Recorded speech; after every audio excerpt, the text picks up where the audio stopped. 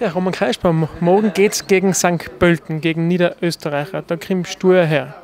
Komisches Gefühl, gegen so dein Heimatbundesland zu spielen? Nein, es ist kein komisches Gefühl. Ich meine, ich, bin, ich war in der Akademie fünf Jahre, fünf Jahre in St. Pölten. Deshalb kenne ein paar Spieler, es sind gar nicht mehr so viele, aber ein paar kenne ich doch. Und ja, aber es ist nichts Besonderes.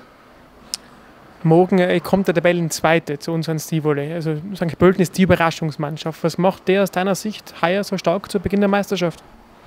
Ja, sie haben jetzt sieben Punkte geholt aus drei Spielen, vor allem durch eine sehr äh, geordnete äh, Spielweise, durch eine sehr kompakte Defensive. Da ist sehr schwer durchzukommen und, und Torchancen rauszuspielen. Das haben sie jetzt bewiesen in den drei Spielen.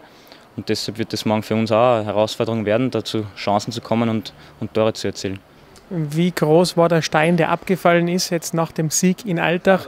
In der dritten Runde endlich der erste Sieg. Wie groß war die Erleichterung?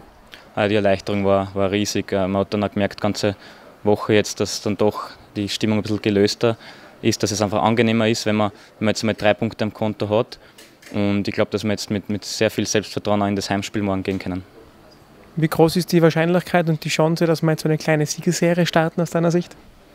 Ja, die, die Möglichkeit ist, ist immer gegeben und, und wie ich schon gesagt habe, es kommt immer sehr viel im Fußball auf Selbstvertrauen an und ich glaube, die Brust ist, ist jetzt da. Die haben uns letzte Woche hart erarbeitet gegen Alltag und da hast du jetzt einfach wieder so fokussiert und gemeinschaftlich so, so aufzutreten und dann bin ich überzeugt davon, dass wir morgen auch drei Punkte holen. Ich wünsche genau dafür viel Erfolg. Danke, danke. Ja, Cheftrainer Karl Axbacher, morgen das zweite Heimspiel der Saison. Es geht gegen St. Pölten. St. Pölten ist das Überraschungsteam. Seien die so stark, wie der Tabellenrang 2 vermuten lässt? Ja, das wird sich morgen zeigen. Also ich glaube, also es ist doch überraschend, dass sie nach drei Runden am zweiten Platz stehen. Aber das ist der guten Organisation der Mannschaft geschuldet, die wirklich äh, hervorragend defensiv arbeitet und äh, im letzten Spiel gegen Sturm Graz äh, zwar sehr wenig Spielanteile gehabt hat, aber auch keine Torchancen zugelassen hat äh, und nicht unverdient gegen Sturm Graz gewonnen hat. Was macht dich zuversichtlich, dass wir morgen im zweiten Spiel Punkte holen könnten nach dem Sieg gegen Altach?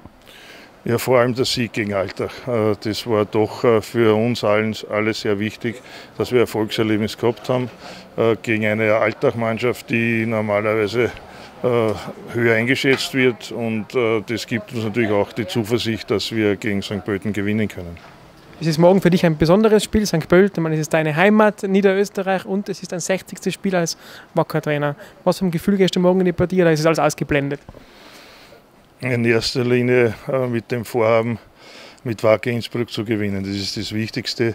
Da ist nicht mehr wichtig, dass ich einmal bei St. Pölten war, aber es wird einige andere Clubs geben, wie Lask und Austria Wien, eben, äh, wo ich schon in der Bundesliga äh, gearbeitet habe.